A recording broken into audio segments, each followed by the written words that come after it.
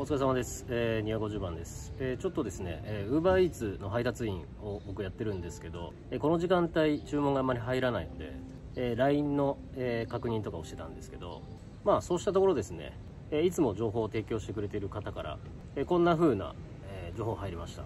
お疲れ様です、えー小山慶吾さんが850万円を貸してほしいと、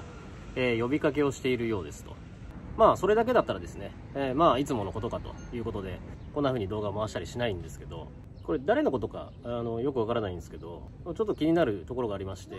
アウトロー YouTuber たちの、えー両目と、えー体の自由を奪わせていただきますみたいなことをどっかに、え書いてるんだか言ってるんだかあ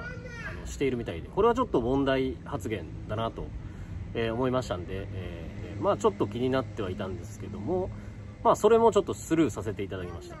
あのわざわざね、え動画にすることでもないかなと。まあ脅迫的な文言とかね、えーたまに小山さん言ってると思うんで、まあこれもね、いつものことかと。いうことで、うん、そういうなんか小山ファンタジーみたいな感じなのかなということで、これもですね、あの、スルーさせてもらったんですけど、まあまた LINE の方が、えー鳴っていてですね、えーこれもうね、ついさっき、えー5分前ぐらいに、えーちょうどね、LINE が鳴ってましたんで、あまた何かあったのかなと。いうことで見たんですよ。そうしたところ、えー小山慶吾さんが誰も支援してくれない、えー電話が止まった。もうなんか死ぬかもしんないみたいな。自殺をほのめかしてるということで。なんかね、遺言っていう感じのサムネの、えー動画を送っていただいた方がいらっしゃいます。で、まあその方はですね、こんなこと言ってないでいいから働けって思います。えー、ウーバーでも何でもあるんだからということで、まあちょうどね、僕も、えー、ウーバーイーツやってますから、あの、小山さんね、えー本当に困ったら、あの、ウーバーイーツ、えーご紹介できますんで、えーなんならね、その、僕の紹介で、あの、ウーバーやっていただくと、お金が入ってくるんで、その紹介料もね、えー一緒にあげますよ。この方はですね、え誰もが必死に生きてるんで甘えるなっていう感じですよって、え言ってるんですけど、まあ、その通りかなと思います。そしてですね、まあその、小山さん、あの、言動がおかしいじゃないですか。ね、あの、こんなこと言ったらあれなんですけど、ちょっとやっぱりなんか病気とかあるのかなっていうふうに思うんで、まあ僕はあの、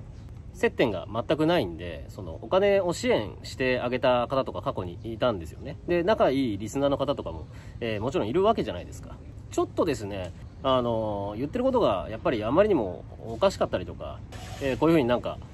あの、遺言がね、どうたらとか、あの命をね、これしますとか、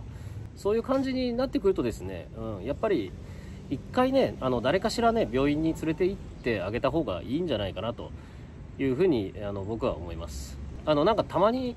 えニュースとかで、あの、犯人がパクられてて、あの、なんかの声が聞こえたからやったとか、そういう感じのことを言う方っているじゃないですか。ね。だから小山さんもね、好きでね、そういうテレパシーがね、来てるわけじゃないと思うんで、うん、そういうのはですね、僕はですね、個人的にはもう、もうちょっとね、えー病気かなと、